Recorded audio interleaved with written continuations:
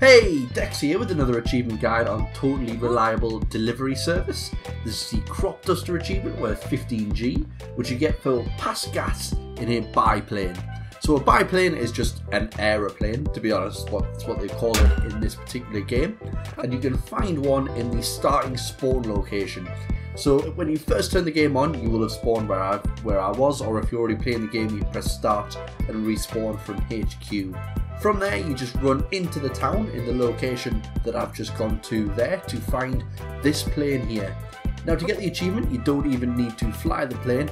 All you need to do is press and hold B.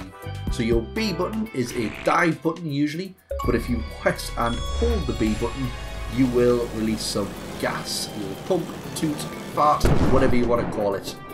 Doing so while standing in the plane will get your achievement to pop as you saw it did on my game as well. And that's all you need to do.